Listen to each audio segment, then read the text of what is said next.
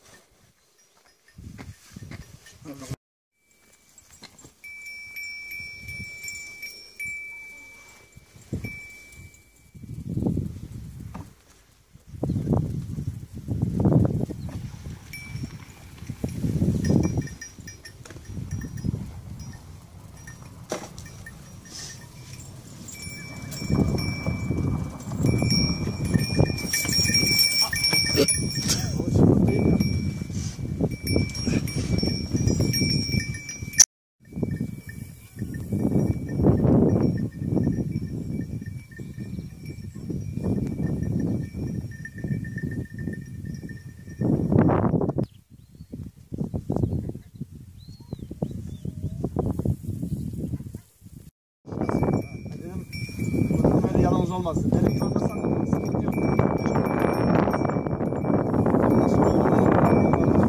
Ben iyi anlıyorum da. Bir yere varır. Çay hazır mı? Atlı misafirimiz var. Malkacıoğlu İsa. Leyla abla gel şu an bize gel. Gel benimle